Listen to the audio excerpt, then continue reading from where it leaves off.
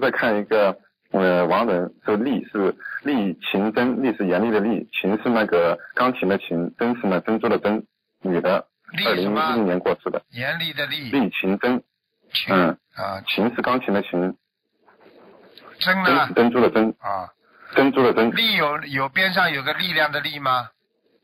没有没有，就是严厉的厉，啊，就严厉的厉，厉秦真，秦真，什么时候走的啊？二零一零年。女的是吧？李清真，对女的。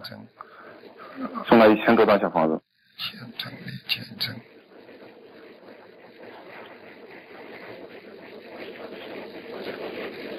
哦，他业障蛮重的，嗯。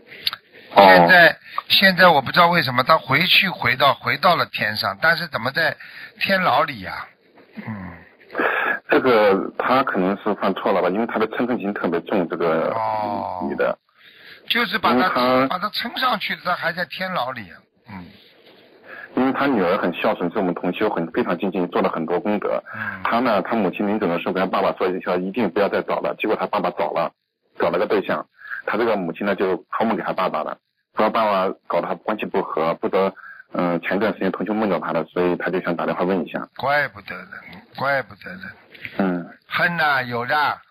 过去是吧？老婆死的时候嗯跟他说，跟老公说，你不要再找了啊，然后我会来找你的啊。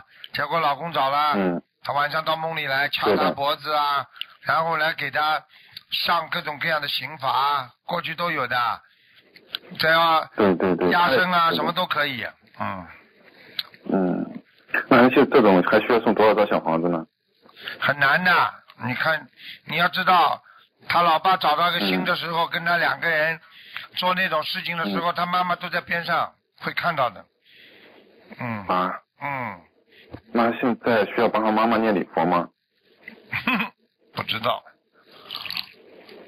哦。所以，所以有时候人答应自己快要死去的人说啊，我怎么怎么，因为他一讲呢，这个地府的官呐、黑白无常都记录，嗯。地府的官都记录，记录之后呢，嗯。你已经许过愿了吧，对不对？然后呢，他走掉了，走掉之后你只要违愿，他就可以叫，他就可以自己来惩罚你，因为地神他都知道你已经许过愿了。嗯所以我告诉你，嗯骗不了鬼神的，骗不了鬼的，死掉的人家是鬼嘛嗯，。是的，是的，所以你这种对，男人，而且那种样子，你一结婚那种样子，他他他在上面，他是鬼的话，他在你房间都看得见。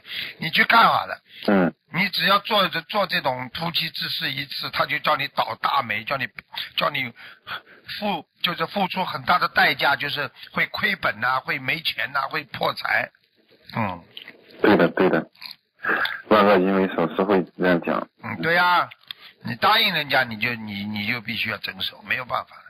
那人那师傅他现在这种情况，嗯、这种情况他还需要怎么做呢？这同修忏悔呀、忏悔呀、不停的忏悔，哦慢慢的好好修，教他的爸爸慢慢的要清修，没办法的。啊，他父亲也念经，我的父啊，亲你也念经。念经嘛，就是惩罚少一点呀、